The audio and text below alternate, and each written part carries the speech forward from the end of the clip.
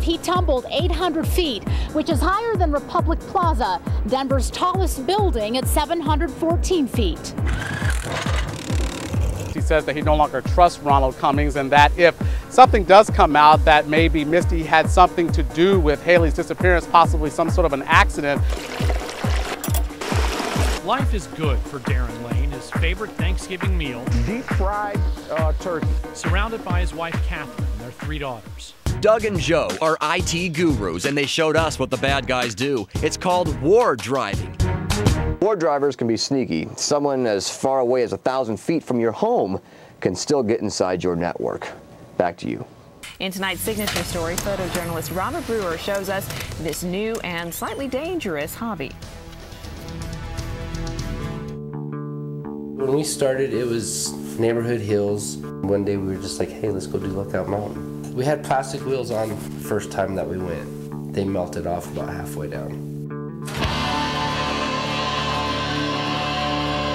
We got to make something better than that. Put racing go-kart tires on it. Special grease, special bearings. Welded some extensions on it. So it's like, ooh, more more money in the wheels than in the bike. Uh, my name is Troy Gibson, aka Deformed, and I'm an extreme big wheeler. A lot of people say we're crazy. A lot of people think it's just the coolest ever. It's fun. Ready, set, here we go!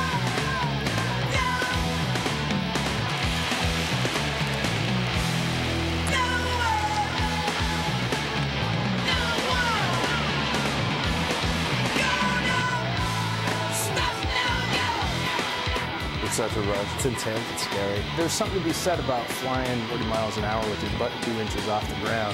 I'm Shane Maddox, aka Car Dodger, and I'm a big wheeler. Sometimes you do have cars. My brakes don't work that well, and I go around a turn, and I'm always on the wrong side of the road. I'm always trying to look out for that next corner or what car may be coming up the road. Oh, oh no, there's a car. Got to dodge it. Just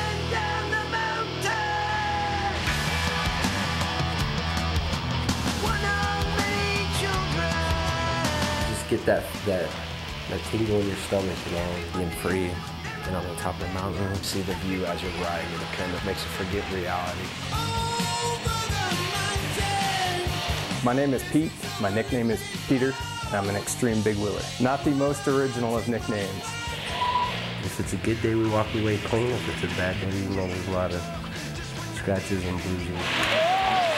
Pretty scary. I mean, you're always on the edge, you know, always trying to keep the bike under control.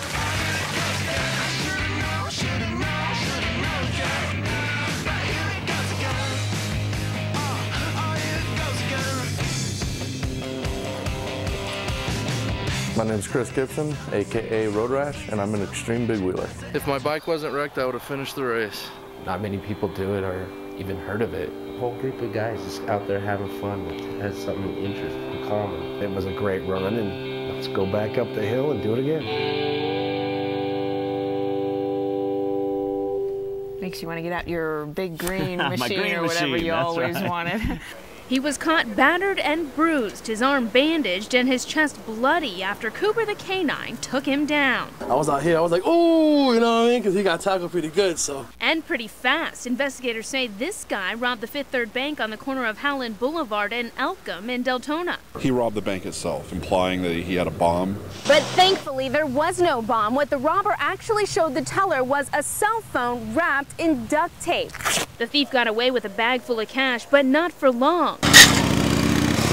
Deputies were hot on his trail thanks to worried neighbors calling 911. What I seen was him coming, jumped the back fence, and my wife was in the shower at the time. She had kind of like the window open, and she started freaking out, you know, she started screaming. I'm like, The bank robber stormed through Jonathan Vargas's neighborhood, tearing through backyards, hiding in the bushes. He even dumped his disguise along the way, tossing his sunglasses in this trash can and burying the shirt and the bank money a few blocks away. I'm like, holy crap, you know, what's going on, you know? And then I come out here, by the time I come out here, helicopters, you know, cops, it was like a hundred of them out here. I was just like, wow, you know what I mean? Like, And within minutes, deputies had the guy cuffed and in the back of a cruiser.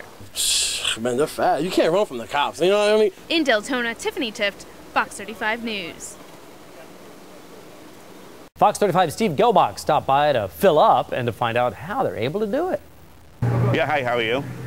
26 and pump 2. Uh huh, two. Dan Boodram Citgo gas station stays busy most of the day, especially with a gallon of regular running 263, cheaper than the closest competition. He's the cheapest man in town. Gene Elliott fills up the minivan here every week. Drivers even line up for a spot at one of the eight pumps. This is the only place I gas up. This is it? This is it. How do they sell it so cheap? Volume. Well, we do a tanker a day. That's an average of 9,000 gallons. So how do prices here compare to around Orlando? Well, I'm checking on my Fox Orlando's Pump Patrol, and the prices average anywhere from two to even six cents more expensive when you look around town. The owner says he still has to make a profit even if it's only a few cents a gallon. Dan tells customers the math is simple. Shop inside buying food and drink, and he'll keep the prices down outside. He also watches the nearby 7-Eleven and RaceTrac where a gallon of regular was running 264. We check our competitors' prices three times a day, sometimes four times a day. And you're Yeah. lower. Well, we're always a penny lower. Whatever it is, we always try to stay a penny lower. And that's what keeps some drivers coming back, driving out of their way, even waiting in line to fill up. Because it's the cheapest. I mean, check the prices any anywhere else, and you'll never, uh, you wouldn't find it as cheap as it is here. In Apopka, Steve Gelbach, Fox 35 News.